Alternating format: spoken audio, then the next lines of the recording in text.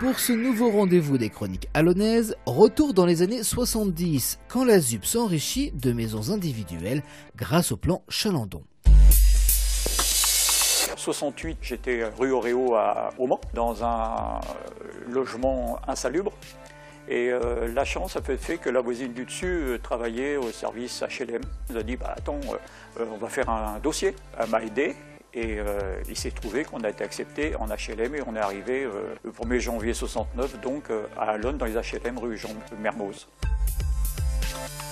Dans l'année qui suivait, euh, pour ainsi dire, moi, euh, en tant qu'ouvrier Renault, je ne me sentais pas les moyens d'accéder à une propriété. Et c'est les voisins du dessus et du dessous de chez moi, en causant, ils disent bah, attends, pourquoi tu n'as pas fait la demande? Il n'y a pas de raison que tu puisses pas l'avoir et tout. Alors donc, je me suis déplacé à l'Union des Progrès, chercher le dossier. On a été agréablement surpris, donc euh, en 71, on m'a convoqué pour choisir mon emplacement et c'était accepté. C'était le plan Chalandon où le ministre avait fait euh, un développement d'accession à la propriété euh, pour ceux qui n'avaient pas beaucoup les moyens.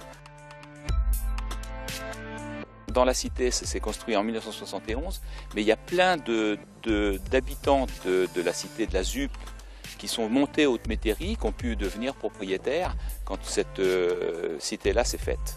C'était très facile, on avait fait une demande pour pouvoir acheter cette maison-là. On a été accepté, puis on y est bien, on s'est euh, plu, voilà, on a fait des travaux à la maison et, 42 euh, ans après, on y est toujours. On s'est lancé à l'affaire et en plus le, jour de la signature à Union et Progrès c'était un, jour euh, de grève de 71 que chez Renault. J'étais dehors dans la rue avec tous les manifestants et je me suis estampé de la manif pour pouvoir aller signer mes papiers.